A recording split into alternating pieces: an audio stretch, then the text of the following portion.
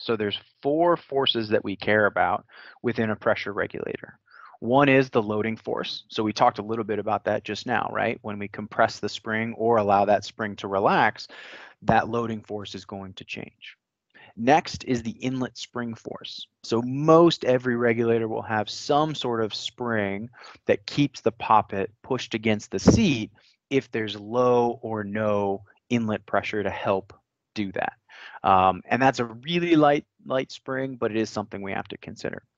Um, next is the outlet pressure force. So this is what we care about, right? So that's all the force that's created by the outlet pressure acting on the underside of that sensing mechanism. And then finally is the inlet pressure force. So while the area is smaller on the poppet, there is some force that's created by that inlet pressure. Um, and that does play into the balance of forces. So um, you could probably um, tell what the equation might look like just based on the arrows, but the F1, our loading force, has to balance out against F2, F3, and F4. And the regulator is going to constantly self-adjust to maintain that balance as best it can.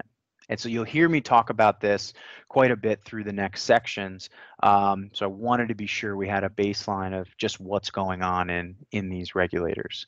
So if we turn the handle uh, clockwise, right? So we're, we're compressing that spring, the F1 goes up, right? We've compressed the spring, increases the force. And the only other thing, if we assume that our inlet pressure or our inlet source is large enough that it's not going to change by any appreciable amount. So F4 is the same.